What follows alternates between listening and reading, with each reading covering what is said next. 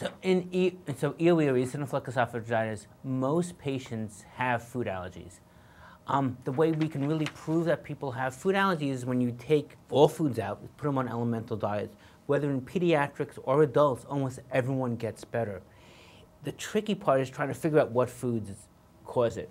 There are a few exceptions, as everything in medicine, nothing's 100%, but 90 plus percent of the patients do respond to an elemental diet. There's some patients who won't, but it's the majority of patients, food plays a role.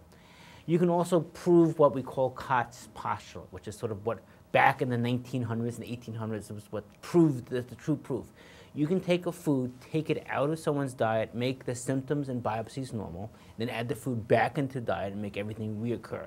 So that's sort of, by definition, food causing disease. So for most patients, foods can cause disease.